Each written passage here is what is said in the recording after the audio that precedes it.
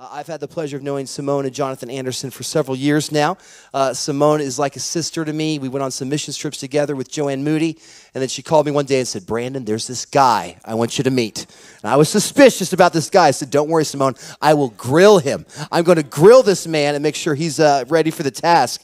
And, uh, and he was. He's, he's such a gift. They run the YWAM base in Kansas City. And for us, one of our key values here at the church is mission. And we really want to give missionaries the ability to share what God's doing around the globe. We can get so isolated in our Roseville bubble and Sacramento bubble that all we think about is the, pol- the politics that are here locally or your job or what's happening maybe you see on the news. God is doing things, church, around the globe. He's doing he is moving in power. See, if you just watch the news, you have no grid as to what God is actually doing inside the globe. And I just a couple weeks back, I started hearing the testimonies of Simone and Jonathan. They said, you know what? We're traveling some churches right now. I'm like, you're coming here. You need to come here and deposit what God is doing in you uh, right now through global missions and also local missions. So would you welcome my good friend Jonathan Anderson as he shares this morning? Give it up for Jonathan. Look at this little Look at this little little twinsy action. There it is. we uh, we planned out our outfits yesterday for this morning. Yeah, going back to uh, the story that Brandon just mentioned, the uh, when Simone and I were uh, talking to each other about four years ago, I called her father, and I'm one of six kids. I have four sisters, and I saw my dad talk to all the men in those four sisters' lives and uh, he's a little intense. He's kind of an intense personality himself. Um, but I was ready for that when I stepped into a relationship so early on with Simone. I called her father, just, hey, we're in a relationship. Is, you know, can I have your blessing, etc. And on the call, he literally breaks down crying, almost hands her to, mar- to, to, me in marriage right there on the spot as we're dating. And so I was like, wow. I hung up and I was like, that was way easier than I thought. And then I got on a phone call with uh, Brandon and I got the real conversation in that. In that. so I appreciate it. Actually, I appreciate it because I was ready for it. I was waiting for somebody to make sure that I was legit enough to marry Simone. So I appreciate it. Simone has been uh, connected to this house and to Sacramento for a number of years. I'm a little bit newer, so I was introducing myself to a few people this morning. And uh, it doesn't actually matter if you know my name. You can just call me Simone's husband. That's fine. That works. Or Axel or Ava's dad. That works as well. Um, but I know a lot of people have known Simone in and out. And so she's, she has been very blessed by this community over the years. And therefore, I have been very blessed by this community over the years. I know we were just talking yesterday, and she was saying how, particularly in the prophetic, she's, she was saying she's been activated in that category from this community in a very profound way. And so that's an inheritance that you guys have, you guys carry, is walking in the prophetic. Sure enough, as soon as I walked in this morning, I was, I was talking to a couple of guys, they're prophesying over me. I was like, I would expect nothing less. expect nothing less. So it's amazing. I'll receive all those words. Um, so we are super blessed to be with you guys, and we believe in this community. We believe in what God's doing in this community, and we've already been blessed by it. So it's just our joy to, to share a little bit with you here this morning. Hopefully, it's encouraging. So, a little background. I think I just saw my family was on the screen here. A little background about us, real quick. Uh, those are our two little kids. So Axel is there on the left. I guess he's on both sides. Um, he's two years old and he is very active. If you left him in this church by himself, he would explore every part of the church on its own, on his own, and would not be scared at all. He's a little adventurer. His middle name means messenger, and that's exactly what he is. And then we had little Ava. She's almost one. She is a cutie, and I knew girls were different from boys whenever she was just a couple months old, two, three, four months old, and she she batted her eyelashes at me. Different than Axel. Axel has never done that his entire life. She did it, and I paused. I go, "Wow, it is going to be different. It is going to be different." So uh, there's our family, uh, cute little family, I think at least, and. Uh, our family just recently got back from South Africa uh, a couple weeks ago. So, yeah, so here's a couple photos from that. And we really enjoyed doing family on mission together. And that's one of the things the Lord early on, we're like, we're going to do a lot of this stuff together. And so we took our whole family over there. And uh, it was a 16 hour flight, the long leg once we got there, it was amazing. The journey there was a little bit interesting, but um, this is a, a little snapshot of what God's doing there. We worked in some of the townships. We were serving a brand new missions community there as well, and all the incredible work that they're doing. One of the things they're doing, I'll mention, is specifically with oral Bible translation. So I don't know if anybody's ever heard of that before, so it's kind of unique. Yeah, a few of you guys. And so there's 7,000 languages in the world, and there's a number of languages that are written languages, but then there's this whole category of them that are not, they don't even have an alphabet. So they don't have an alphabet, so they don't have a written language. Everything's oral to oral, and that's how they pass down history, that's how they do all of that.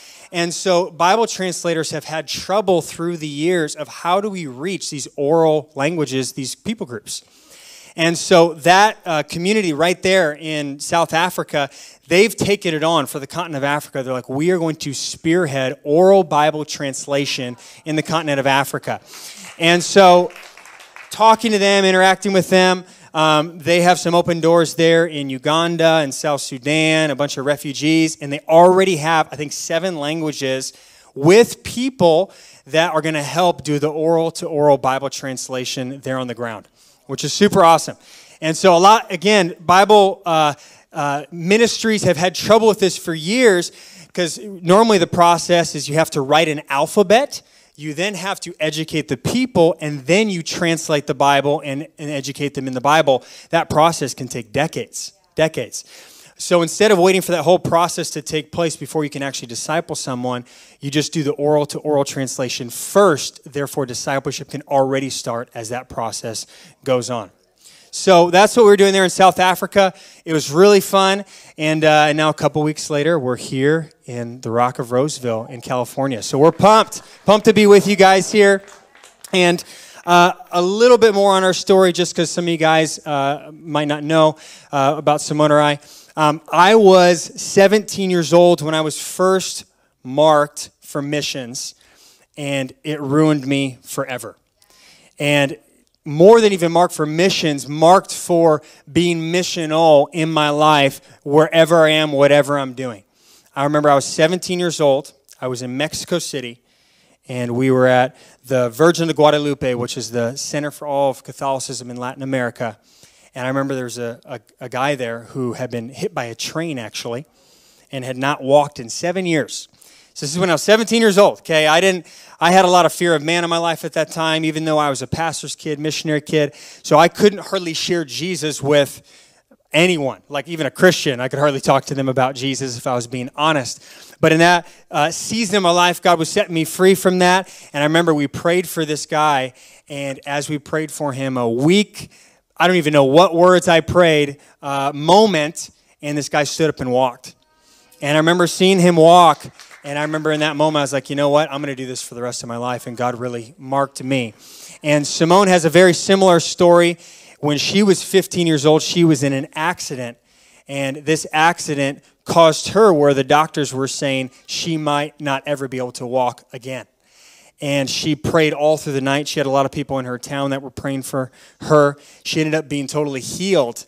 And out of that experience, she ended up in Uganda and in Uganda, she saw God move through her as a teenager in a really powerful way. And now God's all the way full circle. And literally two weeks ago, this is our very first time. She almost moved to Uganda prior to us getting married. And then this is our first time back in Africa. And sure enough, there's connections there with Uganda and South Sudan. And so God is moving all around the world. And I'm not sharing our stories just because we're something special. We're just normal people teaching our kids how to we're doing potty training right now with our two-year-old. This is real life right? We are normal people but god wants to use every single one of you here in this room in a powerful way right where you're at. And so i believe that. And um, anyway so can i just pray for a second? Is that okay as we jump in? Because I, I have yeah some things that i really have felt on my heart even this morning in prayer that i wanted to share with you guys. So lord here we are this morning Father, I thank you that you see every single person in this room. I thank you, see our hearts. I thank you, you see the original design that you have for every single one of us. Father, I thank you, you see the prophetic storyline of this community, of this city. And Lord, that you have a plan and a purpose for every person in this room and for this community. And so, Lord, this morning I ask whatever you want deposited, we give you full permission to do it. Holy Spirit, we give you full permission to move and convict and impart everything you want to this morning. And we just say we love you and we bless you in Jesus' name. Amen. So, speaking of South Africa, when I was there, uh, I actually had a dream about here. So I was I was there, wasn't thinking about this trip, and I had a dream literally of this Sunday morning of me preaching. This is not normal for me, by the way. I'm not. I don't have dreams every day of my life like some some of you guys here have dreams probably every day of your life. I know you guys do, um, but I had a dream literally of this uh, service, and I was in the dream. I was sharing things. Um, I don't know if you've ever had a dream where there's stuff happening and you kind of just know the theme of what's happening, not necessarily the specific words. And I knew as I was sharing what was happening was it was fanning the flame of words that have been spoken over this house. And so anytime I have a dream like that, I just pay attention a little extra. and I know God wants to do something very specific this weekend. So coming in, both of us were like, God wants to do something really specific. And I could get up here and share just mission stories for the entire morning, and that would be awesome. And if you want to hear more, I'd love to connect with you after.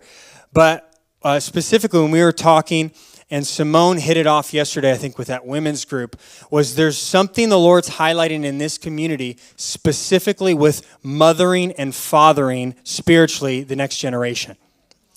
And so I know yesterday, the women had a wild time She's sharing a little bit, but it sounded like the Lord was moving on people's hearts. People were reconciling with one another. And there was a commitment that came forth from both those that were older, both those that were younger, that we need each other and we need to do this together. Amen? And so I know that was a moment yesterday, and I know that's just the beginning of that moment among that group of women. And I feel like God wants to take that one layer deeper here this morning. Okay, so I want to talk specifically about mothering and fathering and the need for that in this next hour. Does that sound good to everybody? Okay, so because there is there is a crisis happening right now. It's obviously you have Ukraine, you have wars happening, you have pandemics, you got all these things happening. I'm not talking about those crises though.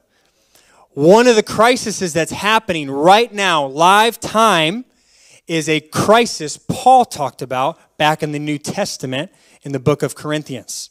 So I think we have a slide on this, but Corinthians chapter 4, verse 15. Paul is addressing a church in Corinth. This church is pretty messed up. If you were to choose, yeah, some of you guys have studied it. If you were to choose one of the New Testament churches that's maybe the most dysfunctional and, and dealing with some of the strongest cultural opposition, the church in Corinth might be that church you'd pick. And so, in the midst of that, Paul is speaking to them, and he says this For though you have countless guides in Christ, you do not have many fathers says, though you might have a lot of teachers, people that are teaching the word, these different things, you have very few spiritual parents. He's hitting on this and he says, and he talks about himself, the next phrase, saying, I'm one of those. And then he begins to speak into them with a unique authority that only a spiritual father can do. And right now, today, more than ever, you could pull up your favorite sermons on a podcast, on YouTube. There's so many different forms of Bible apps out there. I can't even keep track of them. There's so many resources and teaching resources that are out there, which are all amazing, and we probably even need more of them. But where are the fathers? Where are the mothers? Where are the ones that are truly getting in the family of God in a nitty gritty way and investing. I know there's some in this house, but I feel like God wants to take it to a whole nother level and take it deeper. Even, I'll speak specifically in uh, the mission that we're a part of. So we're a part of YWAM, Youth with the Mission. And right now, there's a global conversation happening. There's a gap in YWAM right now. You've got Loren Cunningham, who was the founder of YWAM, and he's 86, 87 years old now. The guy's been to every country and territory on the planet. Pretty crazy. Probably the most traveled person in human history, actually. And he just decided in the last couple of years, because of health and other things, he's not traveling anymore. And so now there's open conversation within our mission saying, what does life look like when our fathers move on? And there's this gap. So you've got 70s and 80s, the ones that pioneered the mission, and there's almost nobody in our mission that's 60s, 50s, 40s it jumps all the way down to me, who's 30. And I'm looked at even with our in our community in Kansas City. We have probably four or five couples total that are above 50 or 60, and then it's me and Simone. People coming to us asking us about parenting and how does your how did your kids turn out so well? Our kids are two years old. I have no idea. I hope they turn out amazing. Like it's it's kind of hilarious sometimes. Simone gives advice freely. I hesitate a little more. So I'm like, hey, talk to us in 15 years, 20 years when our kids are doing amazing. Um, but for real, we find ourselves in the middle of these conversations with all these young couples, all these 18, 20, 22 year olds who are who came from a lot of dysfunctional families for the most part and they're looking for guidance. They're looking for someone to come and father them or mother them. And we're doing our best. But again, I feel like even right now, there is a need. The need in this hour, one of the needs in this hour, is a are spirit filled, on fire, anchored in truth, mothers and fathers. Whether you're 70 years old pouring into people younger or you're 25 pouring into a 20 year old, we need all of you, all of you in the house to step up and actually grab a hold of it. Because the version of Christianity is it okay if I'm just honest and kind of raw with you guys here this morning? I don't actually travel and do uh, speaking gigs that much in other circles other than YWAM. So I'm used to just kind of being raw and unfiltered. So that's my only version, really. So if I if it's a little much for you, Brandon won't invite me back, and it's fine. It's okay. We'll still be friends. so anyway, so I'm just to be real and just go there because I, am to say the version of Christianity from 10 years ago is not going to make it for this next generation now. The version they had even five years ago, maybe in some ways, is not going to cut it with what this next generation is dealing with. The things that they're being hit with from all sides, that we're all being hit with from all sides, is intense the cultural battlegrounds that they find themselves in from all angles is intense. And I'm actually just going to hit a few of them right now because I was writing some down this morning. Just to go there, right? So, the amount of sexual perversion and different things that are hitting this community is intense. There, it used to be back in the day if you wanted to see images you shouldn't see, you'd have to get in a car, go to a store, buy a magazine, hide it, do it that way. You'd have to go out of your way to see something you shouldn't. Today, we have eight year olds with devices that are one click away from the same thing.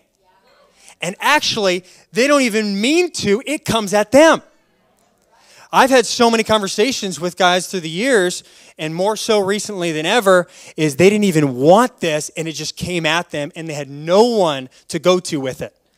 They were hit with shame, and they didn't have a close enough spiritual parent near them to journey with them in it, so they got stuck in it for years until they finally got free.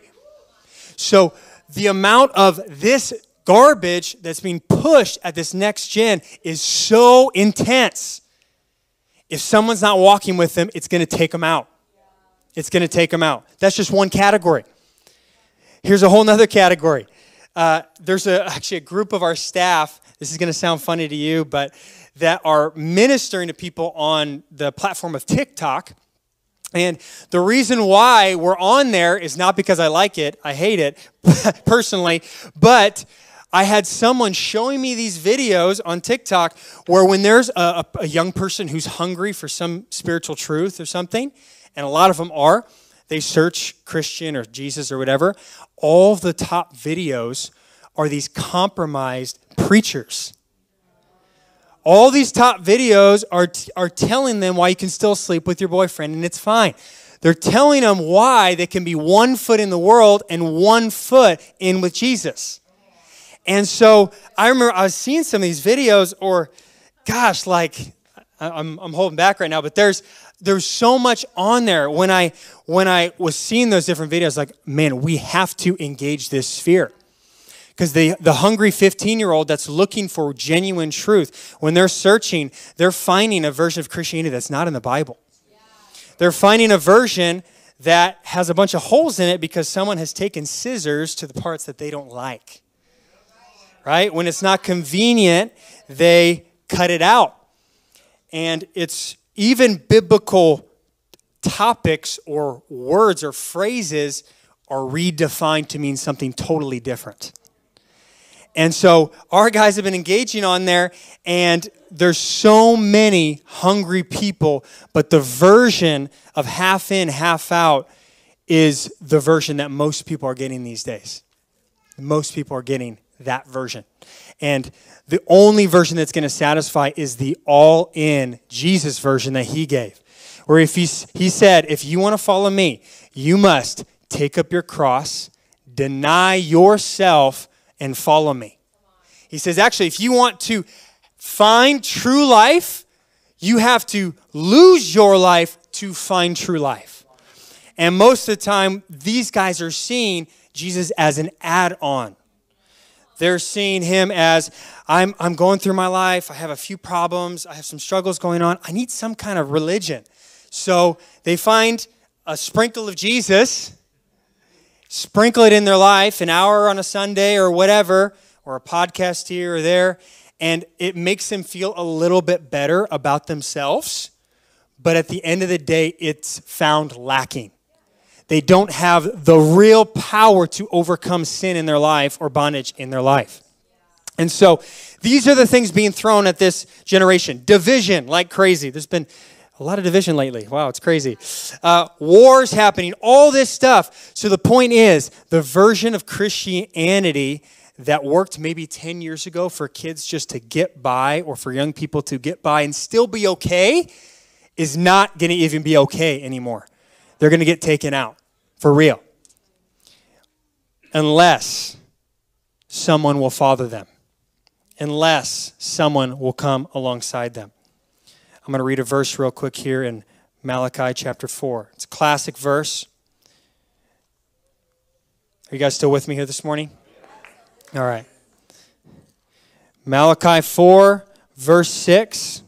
It's the last verses of the Old Testament It says, Behold, I will send you Elijah the prophet before the great and awesome day of the Lord comes. And he will turn the hearts of fathers to their children and the hearts of children to their fathers, lest I come and strike the land with a decree of utter destruction. You see in this verse one of the key ingredients, again, I believe, at this time. Fathers and mothers parents turning their hearts to the younger and the younger turning their hearts to the father. It's a two way street. What does turning of the hearts actually mean? I want to leave three things with you guys here this morning. And I also want to have a, a prayer moment as well. Oh, yeah, we already have the slide up. I want to have a prayer moment as well because I don't, I want to talk about it. I believe God's imparting stuff even as I'm talking right now in this moment. But I want to move beyond that and I want to have a few prayer moments where I think there's some transactions that are supposed to take place in the Spirit specifically here this morning. So, what does it mean to turn hearts towards one another? one of the things I wrote down was what this generation is looking for is they're looking for someone that will be real with them. What does it mean to be real with uh, someone? It means to get in their life enough to know and talk about the difficult things. There's no topic that's off the table. They, they were doing studies for different things, and one of the things they found was Gen Z, the next generation, one of the top things that they're looking for was authenticity. Authenticity was almost at the top of the list, and they and you see this all over the place. Speaking of TikTok, there's things like this actually on there, and this just kind of proves the point.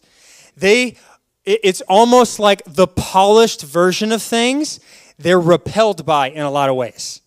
Right, you could do a, an amazing fancy promo on TikTok and it does nothing. And then you could do a grainy video of something that's authentic and it goes viral. Yeah. They do this stuff. My nephew was showing me this. Keeps me relevant. I need young people, even younger than me, in my life. I feel outdated, honestly. And he was showing me this. He goes, on TikTok, one of the things that guys do is they go live, and sometimes they go live and they show their entire day to people. Have you seen this? Well, they'll like put their phone in their pocket or whatever, and they'll walk around, and people will be tuning in to watch their normal life. they even go live while they're sleeping. Seriously, he was showing me this. So they're sleeping, and they have a video on. It's kind of creepy, I know, but there, and people are literally tuning in because it's live. Anything could happen. It's real. It's not polished. It's not pre-planned. He showed me another video. Again, this is a really unique one of this guy who he covered himself in flour. This is TikTok world right here, guys, okay?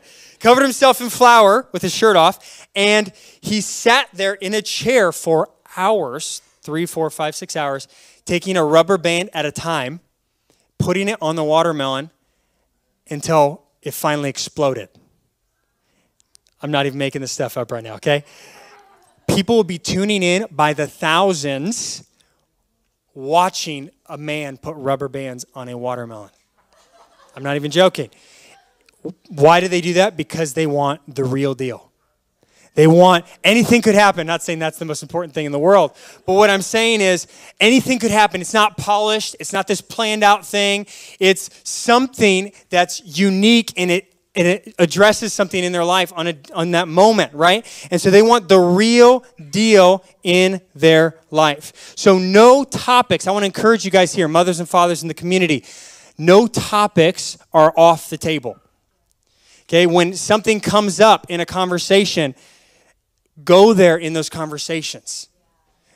Ask questions, be present, pray with them journey with them in that category. They want older men and women who are going to be real with them. Amen? All right. Number two, they want people to believe in them. To believe in them. We need a whole another generation of Barnabases to be raised up. Barnabas means the son of encouragement. What Barnabas did with Paul, the apostle in the New Testament, was what? He grabbed, he grabbed Paul, who was a murderer. He saw something in him that no one else saw. Again, he saw through his mess, he saw through his past, he saw through his mistakes, and he saw with the eyes of God who Paul was. Put his arm alongside him and says, Come here, I'm going to open up some doors for you. I'm going to introduce you to some people. Everyone else was a little bit skittish, but when he came in, because of Barnabas, his reputation, and who he was and his character, they welcomed Paul into their group. And then Paul became Paul the Apostle that we know today, who was probably the greatest missionary and agent of change in that first century of the church. And Barnabas was willing to fade into the background for Paul to go forward. So, a true mother and father would come alongside, be the encourager, see with eyes of faith the, the kid you might be discipling or the other young adult you might be discipling. They may be really messed up, they have a lot of issues, they're cynical, they may backlash at you, whatever it might be. But can you grab a hold of God's heart for them and see God's eyes, see through God's eyes to see what He sees in them? And would you go even beyond that? Put your arm alongside them and actually open up doors for them. Bring them with you to places, bring them with you into conversations. And that third layer there is even be willing to play the background while they actually become more known. That is the heart of a spiritual mother and father. A mother desires for their kid to step into who God's called them to be and is willing to lay down sleep and sacrifice and all kinds of stuff to see them succeed in that. We need to do that spiritually for those around us as well. Amen? Amen. So we need to believe in them. So we need to be real with them, no conversations left off the table. Like for real, guys. For real, we need to stop saying there's certain subjects that are taboo that we can't talk about as the church. If we don't talk about them and bring truth to them, guess who else is talking about them? Guess who's defining that version for them? That category, they're going to define it the way the world define it, defines it, not because they're even trying to be backslidden, but it's because the church isn't addressing it. They're swiping it under the rug and they're saying, I don't want to talk about it, that's too touchy for me. But the reality is, we need to. Now, I'm not saying we need to address the details of everybody's sin from a pulpit on stage in front of a crowd, right? But at a dinner table, sitting down next to somebody, when you're in their life, talking through those difficult scenarios. And not all of them are a formula. Some of them are complex, some of them have a lot of baggage attached to them. And they need somebody who's going to talk to them in their specific scenario to bring truth to it. Okay, so to be real with them, number one. Number two, to believe in them. And number three, I want to leave this with you to be intentional with them.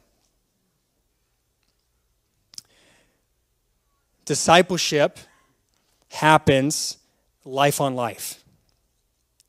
I tell our guys this in Kansas City all the time. Programs, though they may be good, don't disciple people. People disciple people. Someone doesn't grow unless they see someone else in their life or they have someone else next to them to grow with them. You could have the best curriculum. You could even have the best podcast you're feeding these people. But unless you're enough in their life to see what's going on, you're not going to see the transformation that Jesus saw with his disciples. Jesus could have done a lot of versions for us when he came to the earth. He could have had a, a massive uh, seminary, which I'm not opposed to seminaries. He could have enrolled all these students, hundreds of thousands of them if he wanted, probably and he just was the teacher from the front. They all were sponges and they just received all this amazing information and soaked it up, and then they go, they went in the world and spread the gospel. He could have done that version, but he didn't do that version. He pulled 12 guys closest to him. He had other guys, there's a 70 and as well, but 12 specifically that he did life with. They knew what foods he liked. They slept next to him with tents, right? He did life with them. And over the course of several years, not weeks, not months, years, they began to step into who God called them to be. It came from life on life relationship. One of the things that it's so easy to slip into in our American culture here is apathy and comfortability.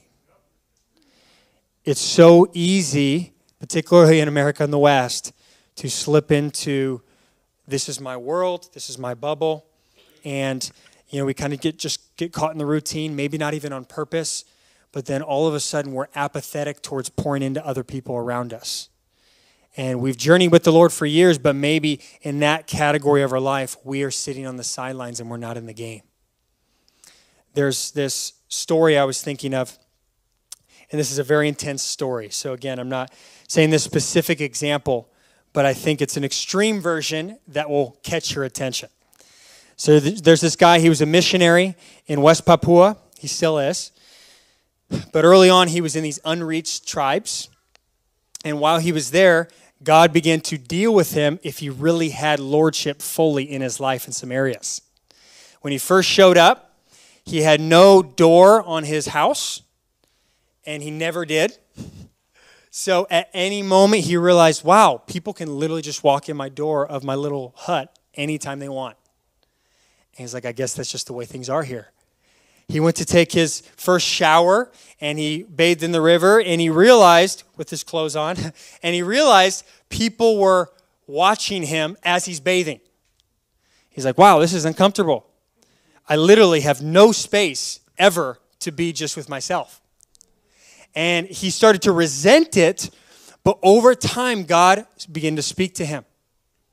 And God began to speak to him and says, Actually, you have held on to the right of privacy. And he says, You need to give that right to me. It belongs to me. And so, for however many years, it was over a decade, every time he took a shower, it was in the river, someone was watching him. Yeah, that's intense. People could walk into his home at any point while he was there for over 10 years but he laid his life down to reach those people, and God moved super powerfully because he was willing to lay down even his quote unquote boundaries of privacy to reach people. Okay, that's an extreme example. Some of you guys are like, I have no idea how that relates to me. It does, in the sense that often, and there are healthy versions of boundaries, I'm not saying there's not healthy versions, but what I am saying is we often put so many boundaries around us that people can't even get to us if they wanted to. We don't realize we have these set up and we need to actually lay them down before Jesus and say, What's your version, God? I, I said, You're my Lord. Even in my comfort zone, I'm going to sacrifice that to you. And I want you to speak in. What do you want me to do? Where we would begin to invite people into our homes, come to our dinner tables, where we would open up our lives. Again, I'm not saying every time, all the time, you need to have people around you. But what I am saying is we need to, again, lay this before the Lord and get his thoughts on it and say, God, what does it look like for me to pour into this next generation? What does it look like for me to invest in people? So I want to have a couple prayer moments here. So, right now in this church, there is, if you're thinking about yourself, there's someone here that you could probably pour into. Or there's someone in your neighborhood you could pour into. There's someone in your community you could pour into. There's someone in your family you could pour into. And if you're realize you're not really doing that in an intentional way, I would encourage you start with one or two people. Start there. Because I believe, and Brandon and I were talking a little bit about this yesterday, I believe we're actually in a John 4 moment where Jesus was talking to his disciples and he says, Don't say the harvest time is three months, six months from now. He says, Behold, lift up your eyes, for the harvest is plentiful now. I, I, I feel it especially coming out of this pandemic and looking at stuff all around the world and all these different nations, all these nations have been shook up. America has been shook up. This community has been shook up. And I believe we are on the cusp of a whole bunch of young people coming into the kingdom, like for real. These guys are going to be raw. They're going to be all kinds of issues going on.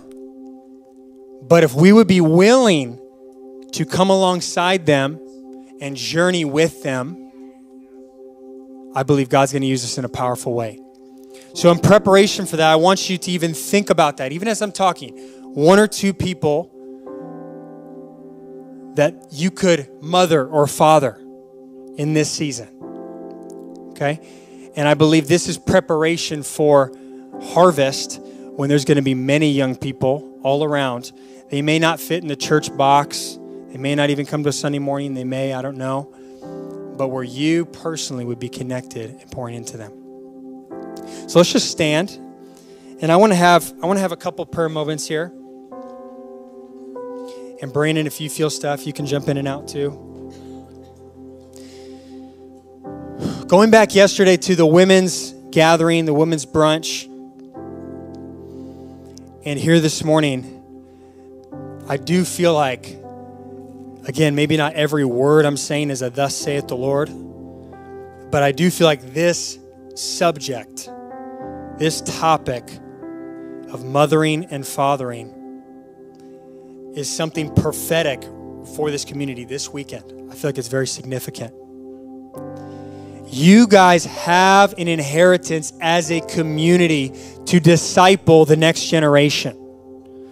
They need to be activated in the things that you guys have stewarded for decades. I believe there's, there's some in this church that have been here for years, maybe over a decade, that have been carrying different things. God is highlighting you and saying, This is a season for you to invest, maybe like you've never invested before.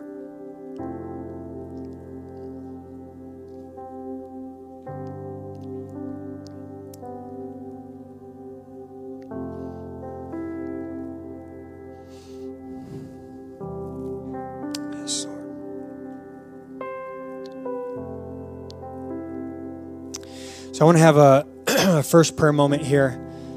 I want to have, I know ladies had some of their moment yesterday a little bit, but I would love if all the fathers specifically in the house um, would, if we would just pray over them. Um, I was just feeling this as I was preparing. Specifically, the fathers, I felt like Lord wanted to release something over them and unlock something in their hearts here this morning. And so, if you're a, a, a father uh, in the house, or if you've been in the faith for, let's say, more than five or 10 years and you're father spiritually, um, would you just raise your hand? And it's going to be a large group here this morning. So, this is what I want to do. Let's, as people just around these guys, keep your hands up. Let's get around these guys. I know you're a community that loves to pray, loves to prophesy. Um, let's just let's come out of our chairs a little bit. Let's find people around if we need. And let's begin to pray over these ones and begin to declare over them and say you are a father in this community. Begin to receive them and begin to declare what the lord wants to release and unlock in them in this season. Does that sound good? So let's just get around. Keep your hands up and let's make sure every person's covered has their hand up. And let's just begin to go all together. You guys can just lift up your voices as you find them and begin to pray for them. First, receive them. Say, We receive you as a father in this house. And then begin to just pray and unlock different things in their hearts. Unlock what the Lord wants to do in this season. So, just as you're praying over them, I just want you to say, I want to repent to you.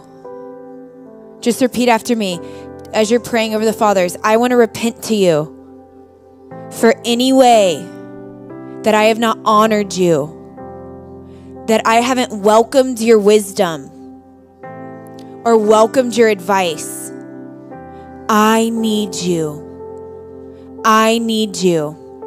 We need you. We can't go without you. I won't go without you. Would you bless me? Would you pray for me?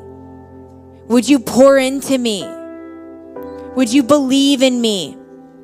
Would you champion me? I receive you in this house. Get off the bench. Get off the bench. It's time to coach again. It's time to coach again. We need you. So I just want you now, just pray in your own words a blessing over them. I want you to bless them. Just begin to bless them and speak life over them that they have what it takes to pour into the next generation. The grace to be intentional, the grace to find time, clarity to know the sons that they're supposed to pour into.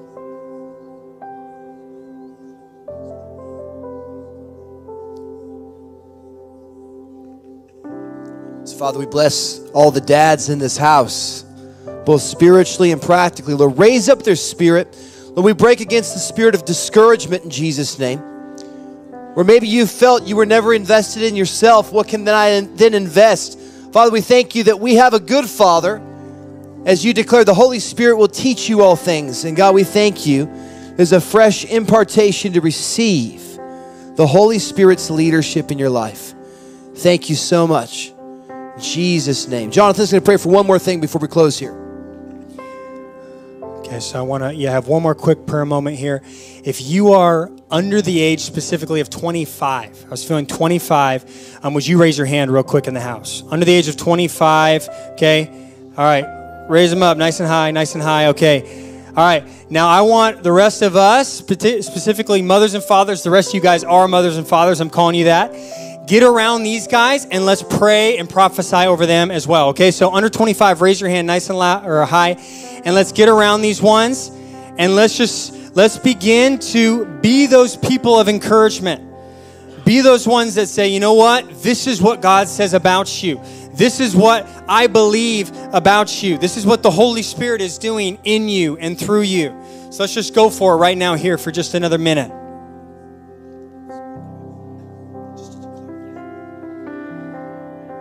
We just declare over this next generation, you guys pray with me. We just declare that you have a voice, that you are a messenger, that there is a message that you are going to release to those around you. We declare that you are accepted and that you belong in the family of God. We just declare that you are more than enough, that God has anointed you. I just declare that you walk in a boldness, that the fear of man will not stop you. I just declare that you have a vision and a purpose and a future for your life, that you were made for impact. So we just bless you.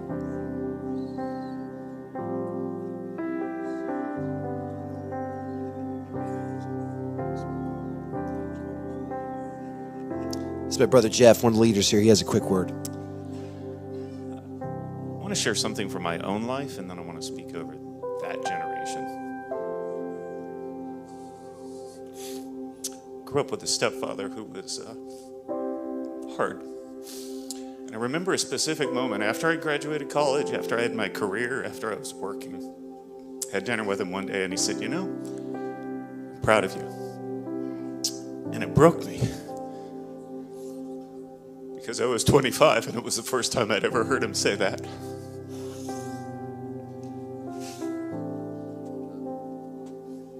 So I want to speak to everyone who's in that generation 25. We are proud of you. I tell my daughters, I'm proud of you.